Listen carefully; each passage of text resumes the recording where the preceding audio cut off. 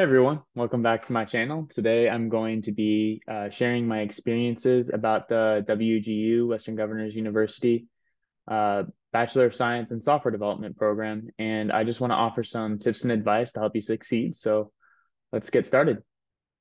So um, first off, um, I want to discuss choosing software development over computer science because I was debating the two. My mentor originally recommended that I choose software development over computer science as he believed it was more industry relevant and had less math. While I don't regret my decision, I realized later that the program lacked some of the essential computer science topics uh, like operating systems, calculus, discrete math, advanced data structures, and algorithms.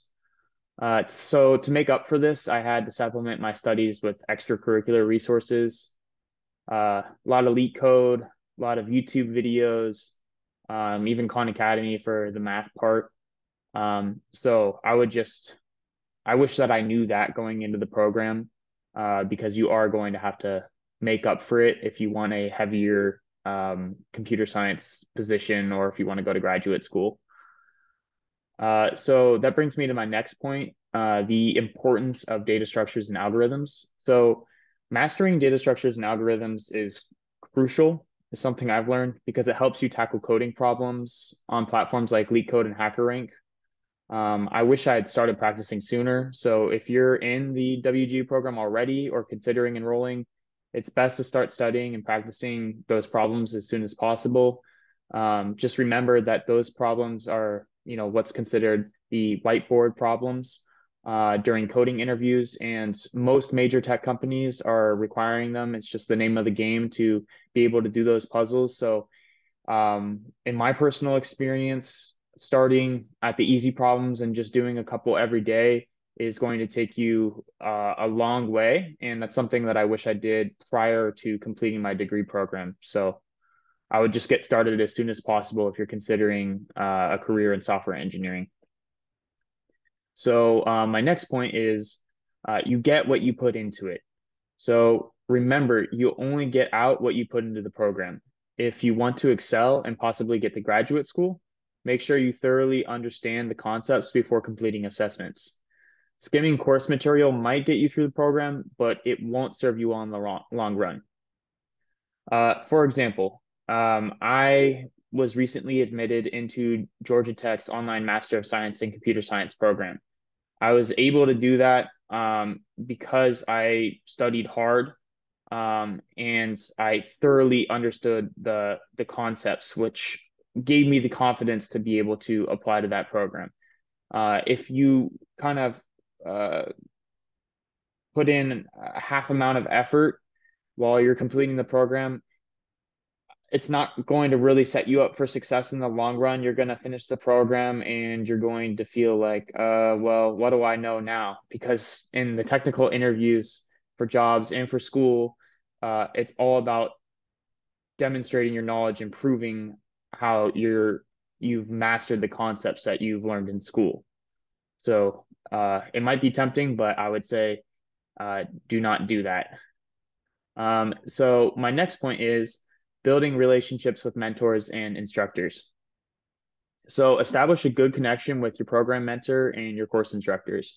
While they might not, well, the program mentor might not have deep technical knowledge. Um, your program mentor can definitely point you in the right direction and provide valuable resources if you have questions about the program or even your classes. Um, course mentors are extremely helpful if you have if you have problems with um, or questions in your courses, you get stuck uh, on a performance assessment or something, you can schedule a class uh, with one or not a class. You can schedule a call or a video chat with one of your course instructors, and they'll kind of help you through the problem. It's it's totally personalized to you. It's it's private, um, and I've I was stuck in several ruts during my more challenging classes. And I would definitely say that the course uh, instructors help me out. And uh, it's going to be important to kind of build relationships with them, regardless of whether or not you need the help, because eventually you're going to want to reach out to them after the program for recommendations or referrals or whatever you need for whether that's going to be a job application or if you're wanting to get into a graduate school.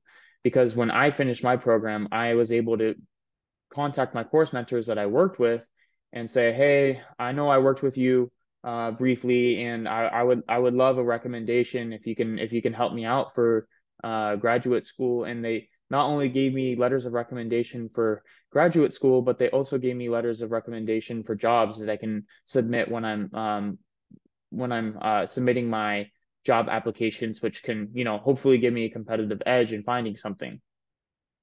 So uh, that brings me to my next point: working at your own pace. So you can complete faster than the suggested timeline. Uh, I would use Reddit to learn from fellow students and their experiences. Simply search WGU and then the course name and then Reddit to find relevant threads. So basically, uh, when you unlock a course, when you move on to your next course, there's going to be uh, like course suggestions and like a landing page basically uh, for you to go on. And it might have like a suggested timeline or like even an accelerated timeline that's like four weeks for uh, a, a certain class, like web development or something. But in reality, even the accelerated timeline might be too long. If you really want to grind, if you have the time, then you can work actually a lot faster than those suggested timelines. I finished some of my courses in a few days because I would just spend all day just grinding in the course. And you can still, it's not like you're just skimming the course and getting nothing out of it just to pass it. You can actually learn the material and and master the subject. It doesn't take as long as you might think it will. So uh, just keep that in mind. I thought I found Reddit to be a, definitely an invaluable resource. And if you're considering enrolling in the program or you're already enrolled, I would 100% um, be going on Reddit on almost a daily basis.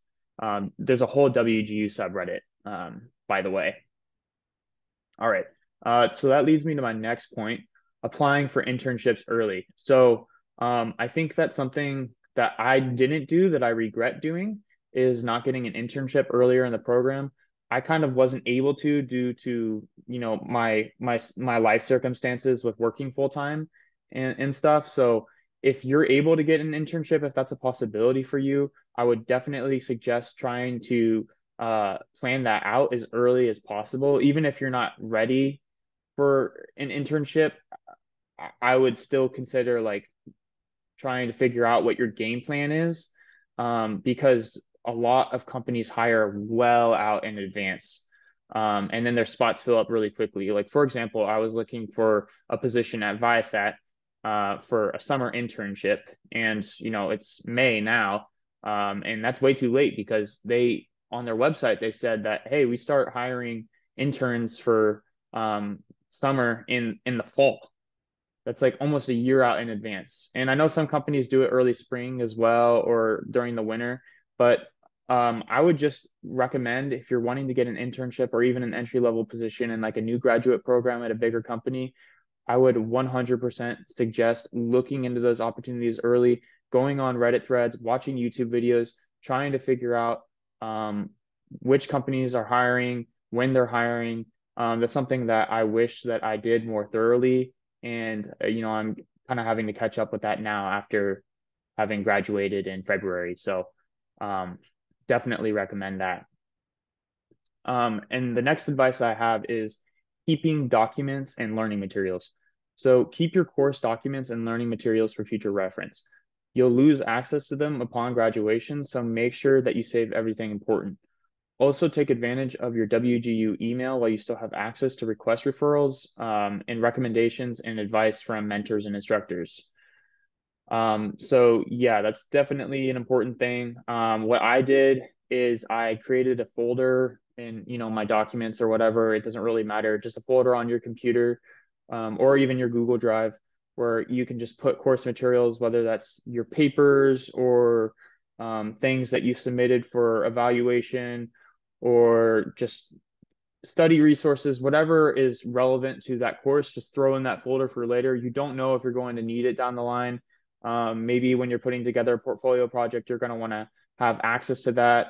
Or say you forget to use uh, uh, GitHub or version control when you're working on a project, you want to still have access to your original project files um, so you can upload it to GitHub because the projects that you do in the program, you're going to want to have that on your portfolio. That is a 100% essential. They're even meant to be on your portfolio so uh, future employers can check out what you want to do or future schools. That is key to obtaining a job that you have projects because they're going to want to know what you did during your degree program. Um, so next off, I just want to say if you have any other um, questions or comments, please uh, put that in the comment section. I would love to hear if there's anything that else that you want me to cover. You can even ask me questions in the comment section and I will try to uh, answer them to the best of my ability. Um, so yeah, don't forget to do that. Um, so yeah, that's it for the video. I hope you found this information helpful. If you have any further suggestions or advice, once again, um, please share them in the comments below. Don't forget to like, share, and subscribe for more great content. And thank you for watching and good luck in your studies.